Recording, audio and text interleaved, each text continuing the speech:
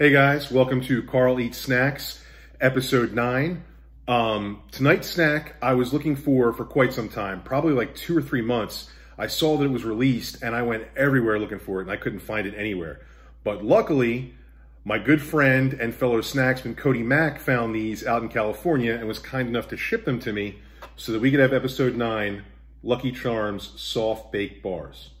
Now, this is the only cereal soft baked bar I've seen uh, obviously, there's a lot of granola or treat, or treat type bars out, like Cinnamon Toast Crunch, Froot Loops, Frosted Flakes. They have, um, you know, like the, the Golden Graham stuff. Obviously, Rice Krispie Treats, the, the Fruity Pebbles ones I did. But I never saw another cereal-based soft bake bar. So although Lucky Charms is like my favorite cereal by any stretch of the imagination, I kind of wanted to try this just to see what General Mills did with a soft bake bar.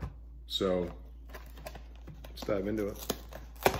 Lucky Charms, soft baked bar. It's not too big. It's good. Gotta watch those carbs. All right, so a little bit of icing on it. You can see like what they did with the marshmallows baked in. Let's try it.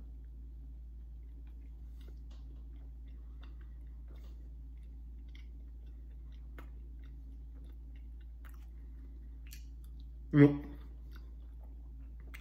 first impression, it's like a sugar cookie soft baked bar. Not overly flavorful, just like a regular sugar cookie type thing. It's a soft baked bar. You can kind of taste the marshmallows, but it doesn't really taste like a marshmallow. It sort of feels like a marshmallow, but it just kind of tastes extra sweet. Like it tastes like a sugar cookie in a bar form that's extra sweet. Magically delicious. More like predictably mediocre. It's not great. Um, it's not terrible. Uh, I'll go with recommend. I'd recommend this. Um, if you like sugar cookies and you like soft baked bars, a win, right? But the fact that I was looking for this for three months, looking for a bigger payoff than that, and really it, it didn't really do anything for me. You know, it's not, it's not awesome in any way at all. Again, magically delicious, not even close. But I'm glad I tried it. Thank you, Cody, for sending it to me. Uh, again, this is what being an international snacksman's all about. You got to hunt for the stuff you find the stuff, you try the stuff.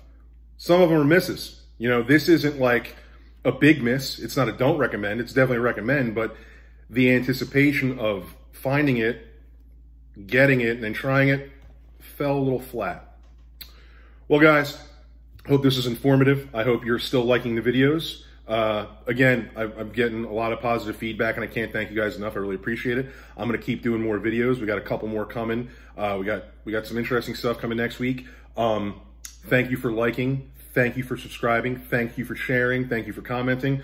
Uh, again, if there's anything you want to see me eat, hit the DM, comment, give me a suggestion. Thanks guys. Carl Eats Snax.